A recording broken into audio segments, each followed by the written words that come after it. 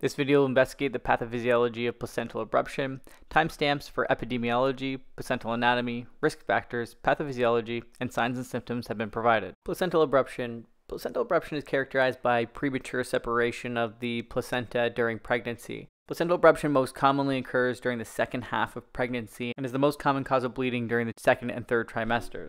In terms of epidemiology, placental abruption will affect approximately 1% of all pregnancies and is a significant cause of perinatal morbidity and mortality. In terms of specific onset, placental abruption most commonly occurs in patients who are 20 weeks or greater gestation, with peak onset occurring at 20 weeks and falling rapidly as we enter the third trimester of pregnancy. In order to understand the pathophysiology behind placental abruption, it's important that we review the layers of tissue that are going to make up the placenta and the maternal tissues beneath the placenta. When the blastocyst forms, it's going to implant into the endometrium, and the layer below that is going to become the decidua basalis. The decidua basalis is the layer of tissue in which we're going to see remodeling of the uterine arteries or spiral arteries in order to form the maternal side of placental circulation. In terms of the placenta itself, fetal circulation is going to branch off the umbilical arteries and veins, creating an area of diffusion in which the blood flow does not actually touch. If we take a closer look at the placenta and the decidua basalis, we can see what's happening in a placental abruption. We have the remodeled spiral arteries, which are going to make up maternal circulation, and they're coming close to, but not connecting with the chorionic villi that contain the fetal circulation. In placental abruption, maternal circulation within the decidua basalis is disrupted. As a result, we begin to have bleeding from this maternal circulation and the accumulation of blood within the decidua basalis. As this blood accumulates, it begins to put pressure on the placenta, pushing the placenta and the chorionic villi away from the decidua basalis and effectively detaching the placenta from the maternal tissue.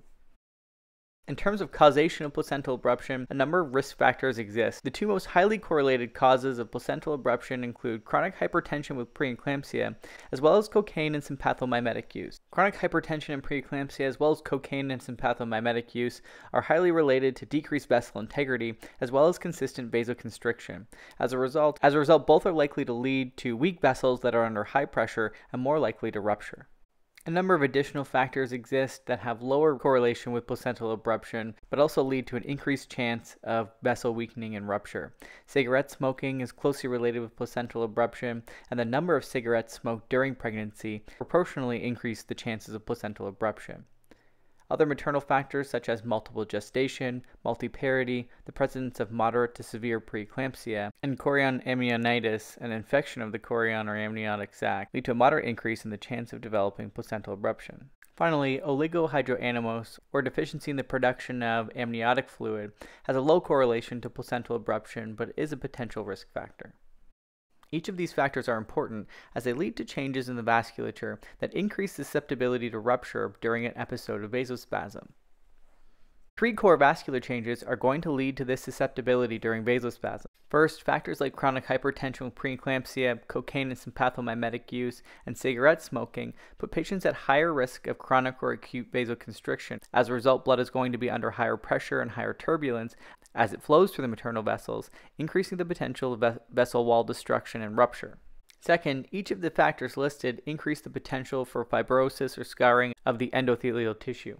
As a result, the integrity of the endothelial wall is damaged and the amount of space for blood flow is decreased. This will lead to an increase in turbulence of blood flow and again can further increase the pressure in which the vessel is under, leading to potential rupture.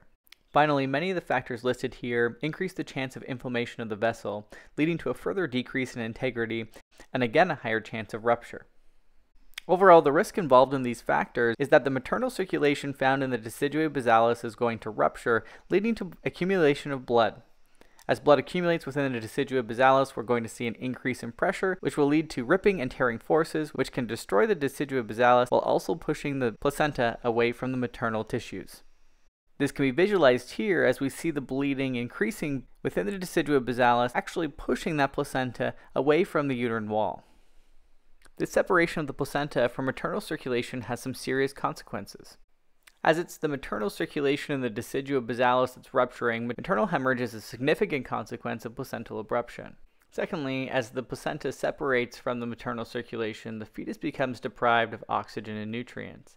This oxygen and nutrient deprivation can lead to intrauterine growth restriction or can lead to fetal death. The mother is also at risk of death if the bleeding is not controlled, as disseminated intravascular coagulation or hemorrhagic shock can occur. Finally, due to the loss of adequate circulation, the placenta is at risk of ischemia. This ischemia is particularly dangerous because the placenta contains a number of clotting factors. As the placenta becomes necrotic, these clotting factors can be released into the bloodstream, increasing clotting and further impacting disseminated intravascular coagulation. A number of signs and symptoms are related to placental abruption, the most common being a painful vaginal bleeding or spotting. In placental abruption, the bleeding can either be concealed or apparent. In concealed bleeding, despite hemorrhage within the decidua basalis beneath the placenta, the edges of the placenta remain intact. As a result, they essentially pin the placenta to the edges of the maternal circulation, trapping the hemorrhage within the decidua basalis. With an apparent placental abruption, one of the edges of the placenta are fully removed from the maternal tissues, allowing for blood to leak out into the uterine space and exit through the vagina. As a result, a concealed abruption is most commonly related to little, no, or only spotting in terms of vaginal bleeding. If there is blood, it's likely to be dark red or clotted, and the patient may have unexplained hypotension or anemia. As blood can flow freely from an apparent hemorrhage, we're more likely to see bright red bleeding, and the amount of blood is likely to be increased compared to our concealed hemorrhage.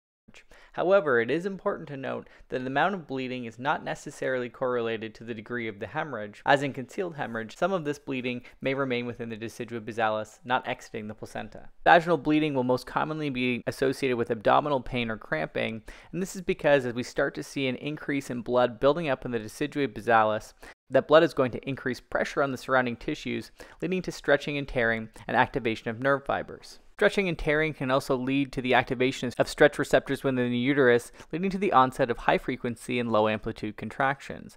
As the uterus contracts, it may become hard and tender on palpation. Due to the stress and lack of oxygenation for the fetus, you may see heart rate abnormalities such as decelerations, bradycardia, or reduction in variability. Finally, the stress placed on the fetus can lead to a release of CRH, which, when combined with the onset of high frequency and low amplitude contractions, can lead to premature labor. Finally, fetal asphyxia is common as bleeding worsens, which can lead to stillbirth.